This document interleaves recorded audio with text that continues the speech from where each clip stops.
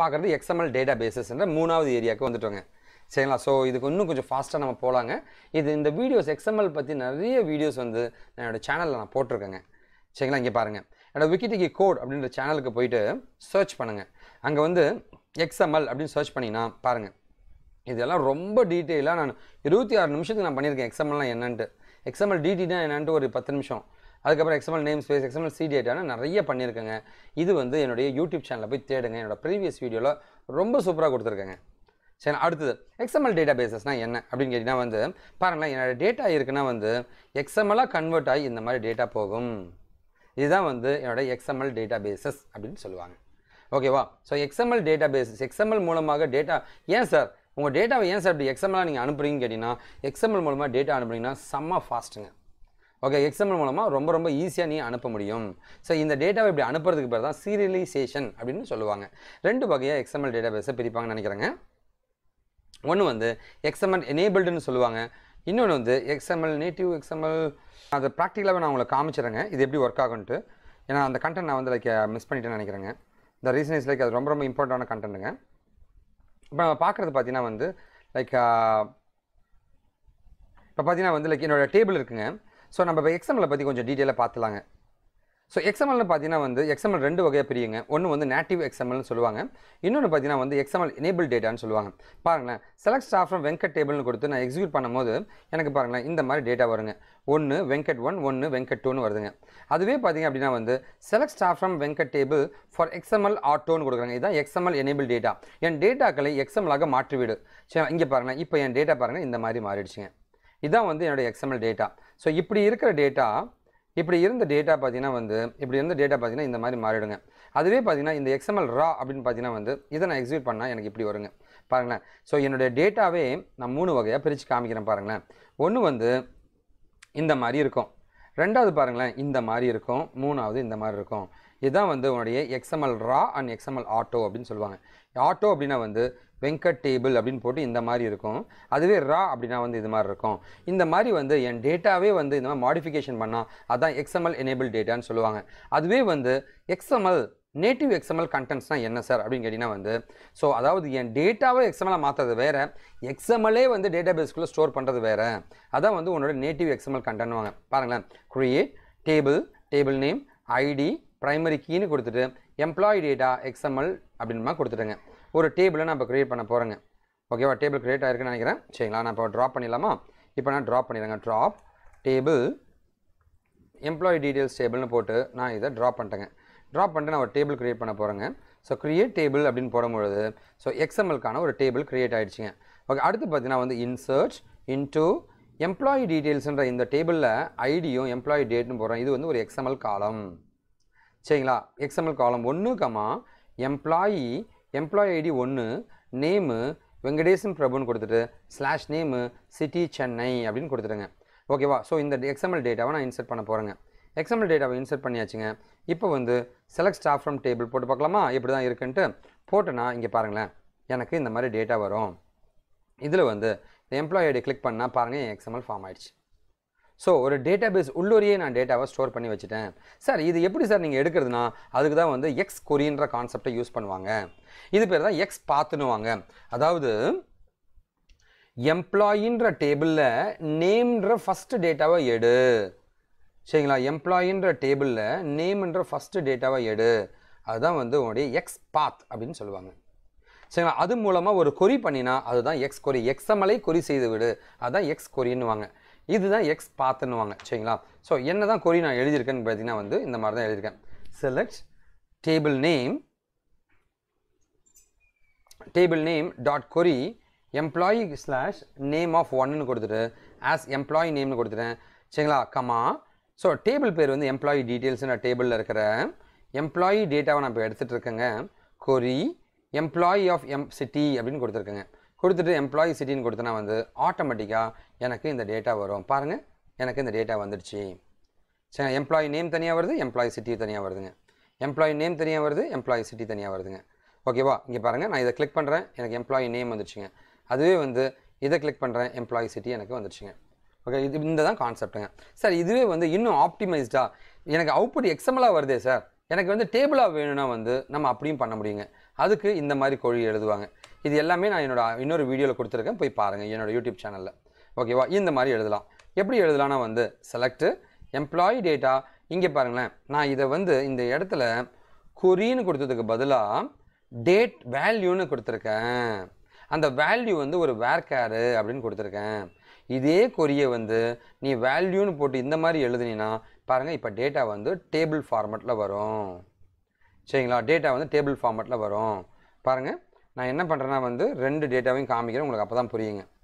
சரிங்களா? Select star from select star from table கொடுத்துருக்கேன். சரிங்களா? ஸோ செலக்ட் ஸ்டார் ஃப்ரம் நான் என்ன பண்ணியிருக்கேன்? ரெண்டு டேபிள் பண்ணியிருக்கேன். சரிங்களா? எக்ஸ்எம்எல்லேருந்து டேட்டாவை எடு. டேரெக்டாக டேட்டாவை கொடு. செலக்ட் ஸ்டார் ஃப்ரம் டேபிள்னு தரும் பொழுது செலக்ட் ஸ்டார் ஃப்ரம் டேபிள்னு தரும்போது எக்ஸ்எம்எல் வருதுங்க. அதுவே வந்து எக்ஸ் குறிலாம் கொடுக்கும் பொழுது இந்த மாதிரி டேட்டா அதில் இருக்கிற அதில் இருக்கிற டேட்டா உனக்கு வந்துடும். சரிங்களா? அதில் இருக்கிற டேட்டா உனக்கு வந்துடும் பாருங்கள் வெங்கடேசன் பிரபுன்னு தனியாக வந்துடுச்சுங்க இப்படி தான் வந்து உங்களுடைய எக்ஸ்எம்எல் வேலை செய்யுங்க. சரி ஓகே லெட்ஸ் மூவ் ஆன் ஷியர் நான் அதான் மிஸ் பண்ணிட்டேங்க. அதான் இங்கே போய் பண்ணியாச்சுங்க. ஓகே எக்ஸ்எம்எல் எனேபிள்னா வந்து ஆஸ் I ஓல்டு எக்ஸ்எம்எல் எனேபிள்னா ஆஸ் I ஓல்டு இங்கே பாருங்களேன். இதான் வந்து நேட்டிவ் எக்ஸ்எம்எல் டேட்டா பேசஸ்ன்னு சொல்லுவாங்க. ஓகேவா ஸோ உன்னுடைய எக்ஸ் உன்னுடைய டேபிள்லேயே எக்ஸ்எம்எல் டேட்டாவை போட்டினா அது நேட்டிவ் எக்ஸ்எம்எல்ங்க அப்படி இல்லைனா வந்து உன்னோட டேபிள் கண்டென்ட்ஸில் வந்து எக்ஸ்எம்எல் டேட்டாவை மாற்றுறது வந்து உன்னுடைய எக்ஸ்எம்எல் எனேபிள் டேட்டா அப்படின்ற மாதிரி சொல்லுவாங்க. சரிங்களா? இங்கே பாருங்கள் இப்போ நம்ம பார்க்குறது ஸ்ட்ரக்சர் ஆஃப் எக்ஸ்எம்எல் டேட்டா இதுதான் வந்து எக்ஸ்எம்எல் எக்ஸ்எம்எல் இந்த ப்ராக்கெட் கொடுத்து கொஸ்டின் மார்க் எக்ஸ்எம்எல் கொடுத்து வேர்ஷன்லாம் தருவாங்க. கொடுத்துட்டு டாக் டைப் உனக்கு தரணும். இந்த டாக்குமெண்ட் டாக்குமெண்ட் டைப் டெஃபினேஷனாக என்னன்றது பின்னாடி நான் சொல்கிறேங்க ஏதாவது கமெண்ட்டுங்க here is a comment Venkat வெங்கட்ஸோட XML create பண்ணது அப்படின்ற மாதிரி டேட்டா கொடுக்கணும் கொடுத்துக்கலாங்க. இதான் வந்து உங்களோட ஸ்டைல் ஷீட்டுங்க ஏதாவது ஸ்டைல் ஷீட் ஏதாவது இன்க்ளூட் பண்ணியிருந்தீங்கன்னா இந்த எக்ஸ்எம்எலுக்கு ஒரு ஸ்டைல் தரணும்னு ஆசைப்பட்னா அதை நீ இந்த ஸ்டைல் ஷீட்டில் தரலாங்க. ஓகேவா? அடுத்து இதுதான் start tag ஆத்தர்ஸ்ன்றதான் start tag slash authors end tag இது எல்லாமே ஆட்ரிபியூட் அதுக்குள்ளே ஆத்தர்னு போட்டு புக் டைப் கிளாசிக்கல் அந்த மாதிரிலாம் போடலாம். இதுதான் உங்களுடைய நோடுன்னு சொல்லுவாங்க. இதுதான் மொத்த எக்ஸ்எம்எல் டாக்குமெண்ட்டுங்க இப்படி தான் எழுதுவாங்க. அடுத்து பார்த்தீங்கன்னா எக்ஸ்எம்எல் ரெப்ரசன்டேஷன் பாருங்களேன். இது வந்து எக்ஸ்எம்எல் பார்ஸ் ட்ரீன்னுவாங்க இந்த மாதிரி தான் ஒரு ட்ரீயை வரைவாங்க. இதை நீங்கள் தெளிவாக பாருங்கள் ரொம்ப சிம்பிளாக தான் போட்டிருப்பேன். பாருங்கள் புரியும். ஓகேவா? எக்ஸ்எம்எல் பார்ஸ் அது எக்ஸ்எம்எல் ரெப்ரசன்டேஷன் சொல்லுவாங்க. அடுத்து எக்ஸ்எம்எல் ஸ்கீமானா என்ன? அதாவது என்னோட எக்ஸ்எம்எல் இருக்குங்க. ஐடி அப்படின்ற ஒரு டேட்டா இருக்குது இந்த ஐடின்ற டேட்டா இங்கே பாருங்களேன். நான் இங்கே பாருங்கள் இது டீட்டெயிலாக சொல்கிறேன் பாருங்களேன். இந்த இடத்துல வந்து இ- இந்த இடத்துல நேமுக்கு பதிலாக ஏஜ்னு நான் கொடுத்துருக்கேன். இந்த ஏஜில் நான் இருபதுன்னு கொடுத்தேன்னா ஸ்லாஷ் ஏஜ்னு கொடுத்துருக்கேன். ஏஜ் இருபது ஸ்லாஷ் ஏஜ்னா குட்டு இதே வந்து ஏஜ் வெங்கட்னு கொடுத்து ஸ்லாஷ் ஏஜ்னு கொடுத்தனா எப்படிங்க? ஏஜ்ன்றது இன்டீஜருங்க அங்கே நீ வேறு எதை கொடுக்கணும்ல? இதை பற்றிலாம் டிஃபைன் பண்ணுறது தான் ஸ்கீமாவோட வேலை. ஸ்கீமானா என்னென்னா வந்து இந்த எக்ஸ்எம்எல் எப்படி இருக்கணும் அந்த டேட்டாக்கள் எப்படி இருக்கணும் முடிவு பண்ணுறது தான் ஸ்கீமாவோட வேலை. இந்த ஸ்கீமா ரெண்டு மேஜரான விஷயங்களா இருக்கும். ஒன்று டாக்குமெண்ட் டைப் டெஃபினேஷனு இன்னொன்று எக்ஸ்எம்எல் ஸ்கீமா டெஃபினேஷனு ரெண்டாக இருக்குங்க. ஓகேவா அதை பற்றி தான் நம்ம பார்க்க போகிறோம் பாருங்களேன். என்னுடைய டாக்குமெண்ட் டைப் டெஃபினேஷன் தான் காமிச்சிட்ருக்கேன். அதாவது இந்த எக்ஸ்எம்எலுக்கு இந்த எக்ஸ்எம்எல் பாருங்கள் நேம்ன்றது ஒரு பிசி டேட்டா வெங்கடேசன் பிரபு அந்த எலிமெண்ட்டுக்குள்ள அந்த எலிமெண்ட்டுக்குள்ள டெசிக்னேஷன்னு ஒரு டேட்டா இருக்கணும். அது ஒரு பிசி டேட்டா இருக்கணும். டெசிக்னேஷனுக்குள்ள ஒரு பிசி டேட்டா இருக்கணும். அதுக்கப்புறமா வந்து லைக் இவனோட டெசிக்னேஷன் பாருங்களேன். டெசிக்னேஷனுக்குள்ள ஸோ ஒரு பிசி டேட்டா இருக்கணும்.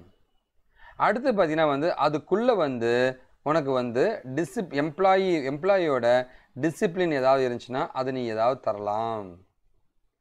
சரிங்களா? அதுக்கப்புறமா வந்து ஒரு இமெயிலு நீ தரலாம்.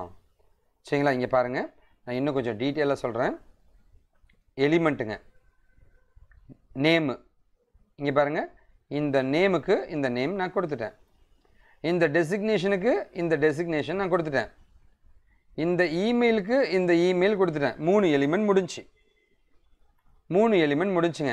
ஒன்று ஒரு எலிமெண்ட் ரெண்டு எலிமெண்ட் மூணு எலிமெண்ட் ஒரு எலிமெண்ட் ரெண்டு எலிமெண்ட் மூணு எலிமெண்ட் முடிஞ்சுங்க. இங்கே வந்து இந்த எலிமெண்ட்டில் வந்து உள்ளே வந்து எம்ப்ளாயோட டிசிப்ளினை கொடு. எம்ப்ளாயோட டிசிப்ளின் என்ன?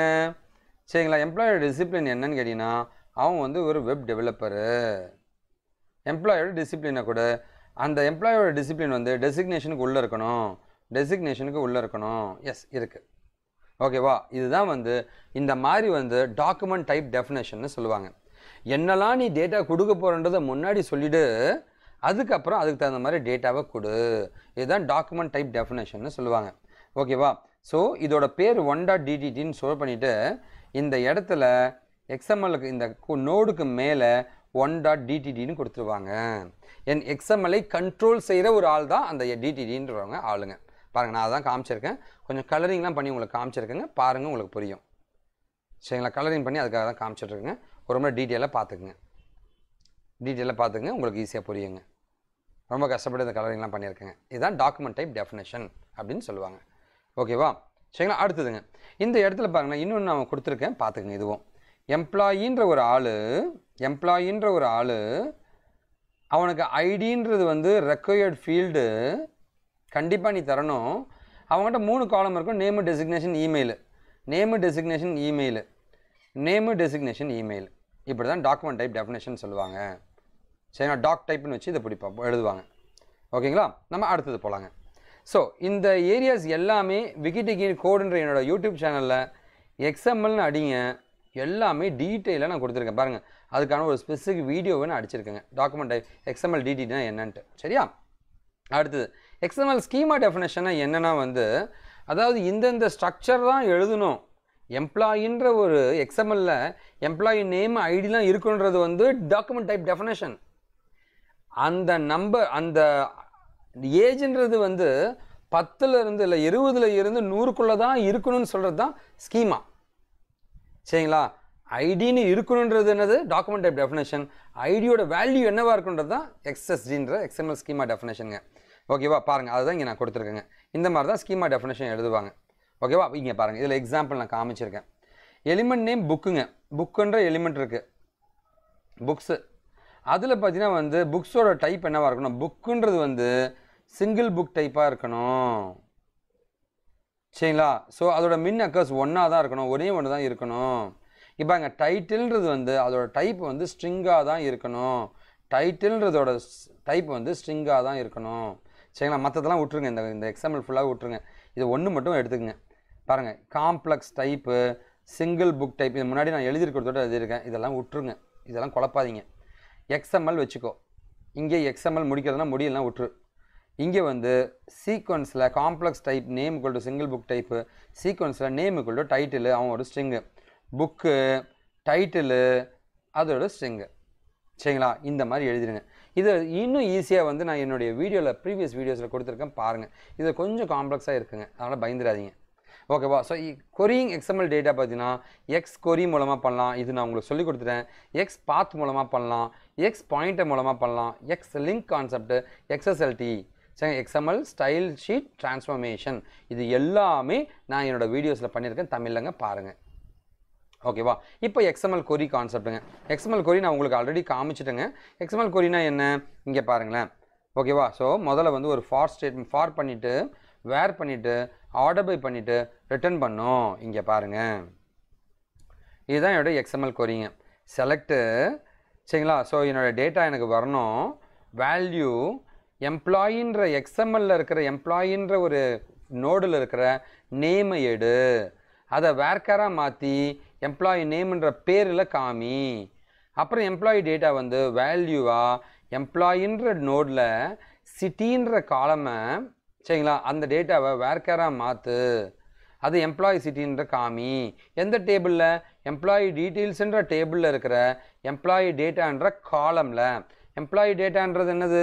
ஒரு எம்ப்ளாயி டேட்டான்றது ஒரு எக்ஸ்எம்எல் காலம் இதுதான் எக்ஸ் பாத் அப்படின்னு சொல்லுவாங்க. இது மொத்தமும் எக்ஸ் கொரின்னுவாங்க இந்த எக்ஸ் கொரி எப்படி ஒர்க் ஆகுனா வந்து முதல்ல வந்து ஃபார் கண்டிஷன் எங்கேருந்து எடுக்கணும்? எதெல்லாம் இது எதெல்லாம் எடுக்கணும்? அப்புறம் வந்து வேர் கண்டிஷன் எந்த வே வேர்னா என்ன? Where like employee slash name வந்து எம் வெங்கட்டாக இருக்கலாம். வேர் கண்டிஷனு அப்புறம் ஆர்டர் பை அண்ட் மொத்தமாக ரிட்டர்ன் பண்ணும். இந்த கான்செப்டில் தான் உனக்கு டேட்டா ஃபெச் ஆகும். சரிங்களா? ஸோ இங்கே பாருங்களேன். இங்கே பாருங்கள் இன்னொரு எக்ஸாம்பிள் எழுதியிருக்கேன். இதுதான் என்னுடைய எக்ஸாம்பிளுங்க இதை சிம்பிளிஃபைட் கொரி எப்படி எழுதுவாங்கன்னா select title from table where price வந்து டுவெண்ட்டி நைன் சரி இதான் வந்து ப்ரைஸ் ஸ்டோர் வந்து twenty nine so book store book ஸ்டோரில் இருக்கிற புக்கை கொடு. இங்கே பாருங்கள் அதை வந்து இப்படியும் எழுதலாம். For dollar of X in document இந்த டாக்குமெண்ட்டில் இருக்கிற புக்ஸ் டாட் எக்ஸ்எம்எல் இது வந்து ஜாவா ஸ்கிரிப்ட் ஜே கொரியில் இந்த மாதிரி எழுதுவாங்க. இது வந்து எக்ஸ்எம்எல் லைக் எஸ்கியூவில் எழுதுகிற கொரி இது ரெண்டுமே வந்து எக்ஸ் கொரியன் தான் சொல்லுவாங்க. இது ஜாவா ஸ்கிரிப்ட் ஒரு வெப்சைட்டில் எக்ஸ்எம்எல்ல படித்து வெப்சைட்டில் போடுறதா இருந்தால் இந்த கான்செப்ட்டு எக்ஸ்எம்எல்ல படித்து டேட்டா பேஸ்லேருந்து எடுக்கணுமா? இந்த கான்செப்ட்டுங்க for dollar of எக்ஸுங்க variable X in document books dot XML அப்படின்ற இந்த டாக்குமெண்ட்டில் இருக்கிற புக் ஸ்டோரில் இருக்கிற புக்கு புக் ஸ்டோரில் இருக்கிற புக்கில் இருக்கிற கண்டென்ட்டை எடு. வேறு டாலர் ஆஃப் ப்ரைஸு ப்ரைஸு பார்த்தீங்கன்னா வந்து கிரேட்டர் தென் டுவெண்ட்டி நைனாக இருக்கணும். அண்ட் ரிட்டர்ன் பண்ணுறது என்னது? டைட்டில் ரிட்டர்ன் பண்ணு. ஸோ ஃபாரு வேறு ரிட்டர்னு இதுதான் வந்து நான் முன்னாடி கான்செப்டில் சொன்னேன். இந்த இடத்துலங்க. அதான் வந்து எஃப்எல்ஓ டபிள்யூஓஆர் அப்படின்ற எஃப் எல்லுங்க ஸோ லெட்டு சரிங்களா? டபிள்யூஓஆர் அப்படின்ற கான்செப்ட்டுங்க ஓகேவா இல்லை select title from table slash column name எந்த எந்த புக் ஸ்டோரில் இருக்கிற புக்கு எடு. Where price greater than nine nine எல்லாத்தையும் கொடுத்துரும். இது எஸ்கியூஎல் query. ஸோ என்னோட காஷி இன்ஃபோருக்கு என்னோட கம்பெனி வந்து நிறைய நிறைய ட்ரைனிங்ஸ்லாம் கொடுத்துட்ருக்கோம் நீங்கள் எங்களை காண்டாக்ட் பண்ணலாங்க. இன்பிளான் ட்ரைனிங் இன்டர்ன்ஷிப்லாம் கொடுத்துட்ருக்கோம் அண்ட் அப்பார்ட் ஃப்ரம் தட் என்னோட கம்பெனியில் நிறைய நிறைய கோர்சஸ் கண்டக்ட் பண்ணிட்டுருக்குங்க. நீங்கள் எங்களை காண்டாக்ட் பண்ணலாங்க.